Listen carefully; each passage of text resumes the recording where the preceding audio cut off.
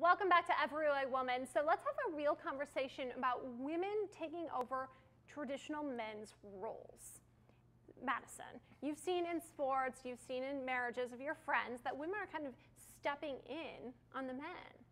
Uh, Okay, but I'm not exactly sure what you mean. Like women are becoming football players? No, well, there are women who are trying to be on men's pro teams. The, you know, there's the woman who just joined as one of the assistant coaches on a men's basketball team.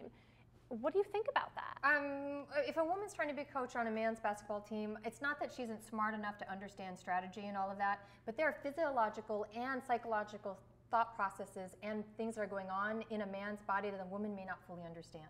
So yeah, I think you can cross boundaries sometimes where you take it too far. Absolutely. So, do you think we've taken it too far? I, I think in some ways we have. Not that because I'm saying women can't be everything that they want to be, or they're not Right, smart enough, or they're not, you know. It's just that sometimes it's like, no, actually, you can't be a man. You know, you can you be a basketball player? Just be a proud woman. There's Yes, nothing about me that wants to be a man. Why not coach women's clear, basketball I don't want to be a man. Why teach? You know, why go into men's sports? Why why not teach?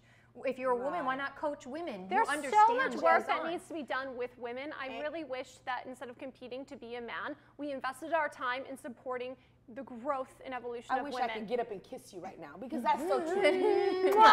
Because what what happened to just being a plain old woman, mm. sexy, vibrant, you know, educated, nurturer of the family? Why do we feel that? Because the man is moving here, we got to do that because there's some some reason we're going to fall behind. We're not equal. You know- Sorry, people. Men and Uh, women you're right. not we aren't equal. equal. We're not we're even. not equal. We're not even. we're- designed the same Yeah. way. Well, and on that note, I have friends who go to their jobs specifically not dressed feminine, not for practical reasons, but because they feel in their office they won't earn the same respect as a man. Yeah, that's so they true. step into this role of almost dressing more manly. Yeah, but you know, a little cleavage will get you a little.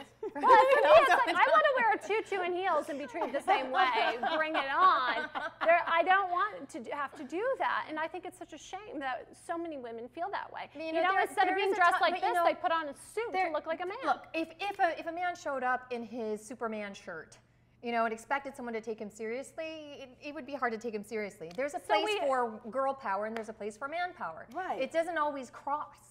Um, you know, no, I, I, when I, I, was want younger, to be. I want to be girl power all the time, and I know it doesn't work. But when I when I wanted to grow up, when I was young, my ho- my we come from a military background and history of military, uh, you know, veterans in my family, and I wanted to grow up and be in the military. Right. And I was scared. I'm gonna was gonna be an officer in the military, and were it you was trying rare. to think like a man? And you know, I didn't think of it that way, but yes, I got out into the dirt and I did all the Mm. stuff with the boys. I did what the boys did.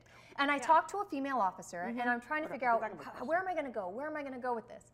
And when I started talking to the to the female officers during that time, they discouraged me from going into the military. And I thought, well, are you jealous? I'm just younger. What's going on here? But the stories that they gave to me were like, no, that's not a place for women. The type of abuse that we received during that time, the type that you're be prepared To do? to, to uh-huh. get defiled regularly, Let me ask you mentally, physically. It, sometimes it just doesn't make sense. Why do we want to push ourselves to the point where we have to make But, it? but what I think wait a there's a point in What does that look like? Think like a man. What does that? Are we saying that women are subservient or sub, in their thinking? Did- what does that okay, look like? isn't there a book written by I believe Steve Harvey yes, that he says says, think like a man, act like a woman. Exactly. A lady. Think like a man, act like a lady. It's going to get you a lot farther if you understand the way a man thinks in the business world, in the romantic world. You will get farther. Because we're relating to other we're relating to men because I don't want to leave with women that we're sometimes we're some dits because we don't think like men. No, absolutely no, not. Right. No, but there's an art to being able to understand the mind of a man. You can think like a woman in, you know, understand the mind Okay, of a man. I have a question. If there was a man sitting here talking to us about our menstrual cycle, h- w- h- how real do you think that I conversation can't stand would be? that. When you go to a gynecologist, this is totally off topic, but, No, but it's I- a man and he tries to tell you how it feels like. Right, yes, I understand like, that I every don't 28 know. days. No. Right. Exactly. So, yeah, there's that crossing where men at some point are going to look at us and go, Why am I having this conversation with you? Okay. Because there are conversations that we don't have with men because it doesn't make sense. Not that a man can't be educated. Right, Not I that a man that. can't understand it. I understand But at some point we're like, do you bleed regularly? I No, don't so know. are, But- Stacey, you okay. think we're disservicing Well, women yes, in well, saying I, I think that because we, we think di- women think with their hearts, men think more factual.